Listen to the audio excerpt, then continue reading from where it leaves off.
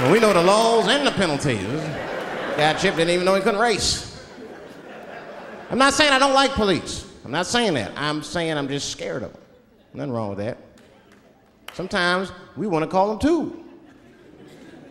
Somebody broke into my house once. It's a good time to call them, but I don't. Uh, uh, house is too nice. It ain't a real nice house, but they never believe I lived in it. Oh, he's still here. Oh my God. Open and shut case, Johnson. I saw this once before when I was a rookie. Apparently, this nigger broke in and hung up pictures of his family everywhere. Well, let's sprinkle some crack on him and get out of here. Oh, you know, that's that, that's that whole brutality thing. It's, see, that's common knowledge now. There was a time when only minorities really knew about that. I'm not going to say white people didn't believe us, but you were a little skeptical. You were a little skeptical. I mean, I don't blame you. And then Newsweek printed it, he knew it was truth. And then the Newsweek white people like, oh my God. Honey, did you see this? Apparently, the police have been beating up Negroes like hotcakes. It's in the May issue.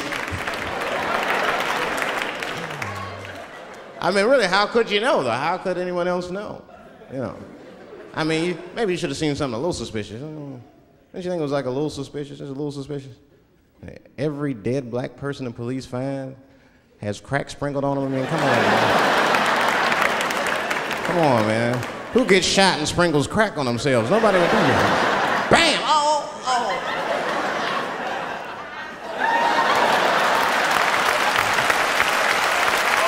I don't want to leave no mysteries.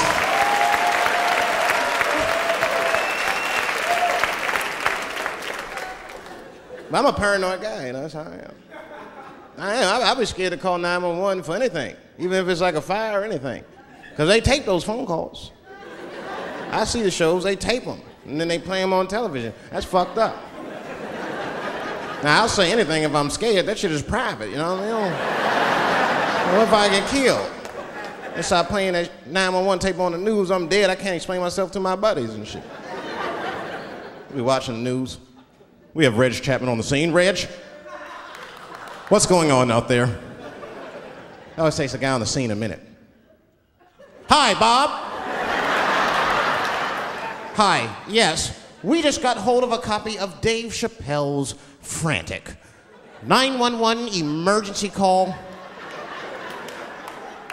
Remember, viewers, some of this language is disturbing.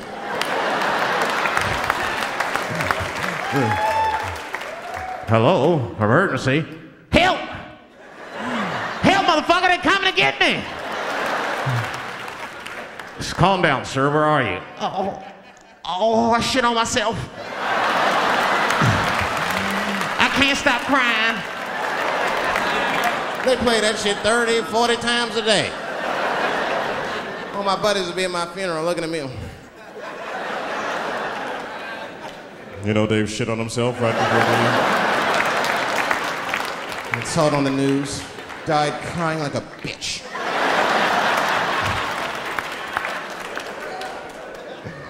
I'll be dead. I can't defend myself. That's not a nice thing to do. That's not a nice thing to do. I mean, it's a 911 tape. How do they expect you to sound? Of course you're gonna be scared. It's an emergency. There's nobody calls 911 cool and relaxed. That, that shit would sound ridiculous. Hello, emergency. Hi. Hey, 911, how are you? Yeah. Uh, look, there's a group of hooded white men gathering outside of my house, and it looks like they mean business. Get out here, nigger! I gotta go. You guys try and hurry.